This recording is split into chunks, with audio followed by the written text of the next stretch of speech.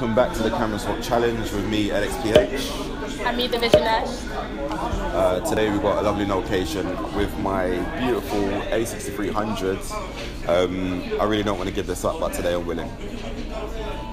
And this is my Nikon D750 and you get to play with it. so yeah, let's see what we can do with this. We're going to um, go over tips and little tricks, um, different styles we shoot with, and we've got a lovely model with us. You'll see her later.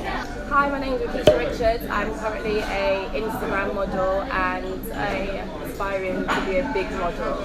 Um, so the big swap. Be careful with my child, please. Be careful with mine. Lovely. Right. Okay, so how do you work with the camera? Um, all right, so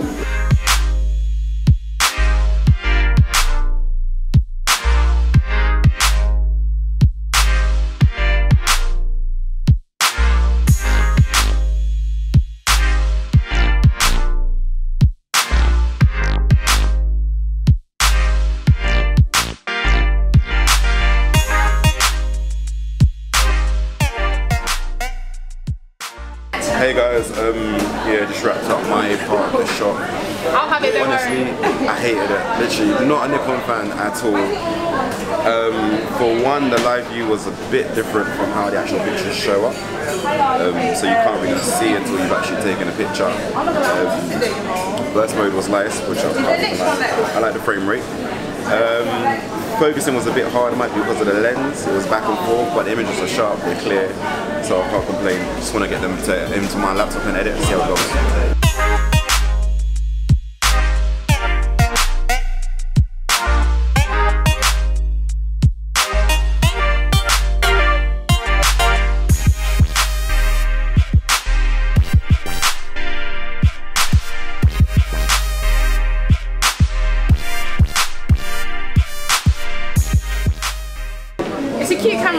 Like on the go, but I really couldn't use it properly when it comes to like using the prism and focusing.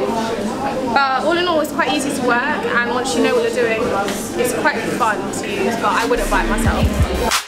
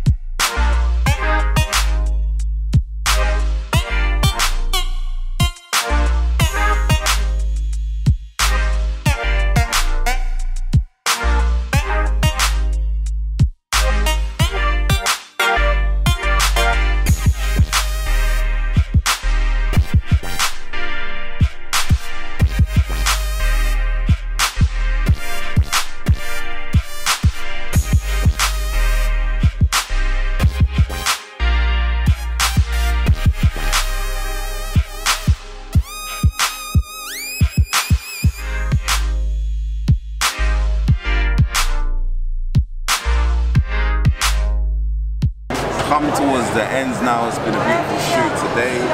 Uh, yeah, so all wrapped up. Uh, overall, how I felt with the camera, yeah, just minus one out of ten, honestly. What? It was just a, it was a struggle. It was a complete struggle. I'm joking. Uh, maybe like a five out of ten. Yeah. Um, again, like I said before, I like how beautiful it looks on the viewfinder, but it's a bit of a struggle because you've got to change the picture as you're taking it. You can't really see exactly how it's going camera? If you know what you're doing, you know your aperture, you know your basics, definitely. Okay, this camera's just childish, yeah. Like everything about it is built childish. it does the job, but I couldn't buy this and use it. My hand's too big already.